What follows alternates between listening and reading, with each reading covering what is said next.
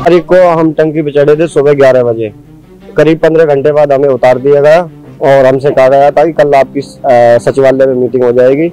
Meeting के परिणाम सकारात्मक थे, लेकिन अब यहाँ आकर तीन तारीख को जो मीटिंग हुई, उसका परिणाम बिल्कुल ज़ीरो है। और यहाँ से आगे जो हमारा तीन सौ बहत्तर के साथियों का जो कदम होगा, वो बिल्कुल खतरनाक होगा और आत्मघाती होगा, जिसकी ज़िम्मेदारी शासन प्रशासन और राज्य सरकार की होगी। तीन सौ बहत्तर वाला कोई भी साथी जिम्मेदार नहीं होगा।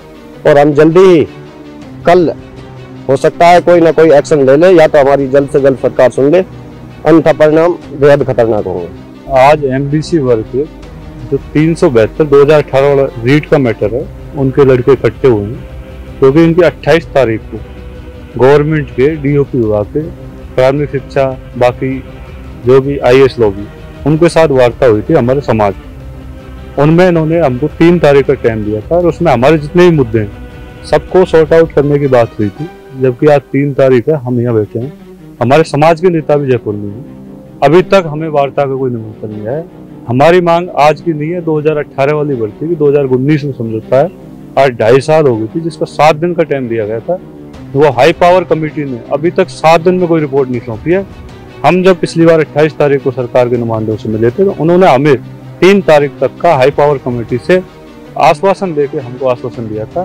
पर आज तीन तारीख को हम सब युवा इसीलिए इकट्ठे हुए हैं कि आज कुछ ना कुछ हमारे लिए एक नया कल दे।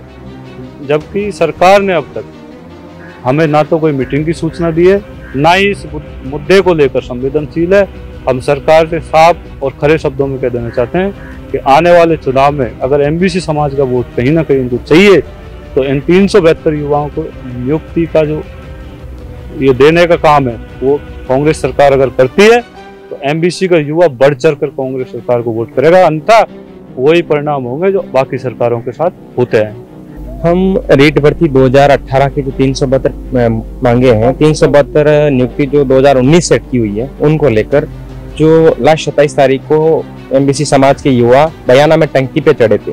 फिर सरकार सीएमओ से कॉल जाने के बाद में प्रशासन ने उनको उतारा और समझाइश की कि आपकी मांगों पर कार्रवाई होगी और उसके बाद नेक्स्ट डे अट्ठाईस तारीख को मीटिंग हुई थी सचिवालय में, जिसमें शिक्षा सचिव सारे सभी अधिकारी मौजूद थे और उनतीस तारीख जिस आज की तारीख में उन्होंने कहा कि तीन तारीख को कॉन्फ्रेंस होगी और जिसमें आपकी मांगों पर जो है उनको नियुक्ति दी जाएगी, आगे जो भी प्रोसेस होगा। लेकिन आज तीन तारीख हो गई, कोई भी आज मीटिंग की अभी तक तो सूचना मिली नहीं है।